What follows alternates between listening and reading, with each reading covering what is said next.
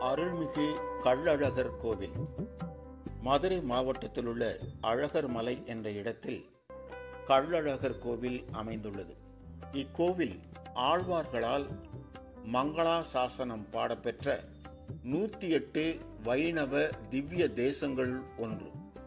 இக்கோவிலின் ராஜகோபுரம் அறுநூற்று இருபத்தெட்டு சிற்பங்களை தாங்கி பிரம்மாண்டமாக காட்சியளிக்கிறது. நூற்றி இருபது அடி உயரம் கொண்ட இக்கோவில் ராஜகோபுரம் ஏழு திருநிலைகளை கொண்டது. இந்த ராஜகோபுரத்திற்கு கும்பாபிஷேகம் நடைபெற உள்ளதை முன்னிட்டு திருக்கல்யாண மண்டபத்தில் யாகசாலை அமைக்கும் பணி இன்று துவங்கியுள்ளது. விழாவிற்கான முகூர்த்த கால் நடுவிழா இன்று நடைபெற்றது.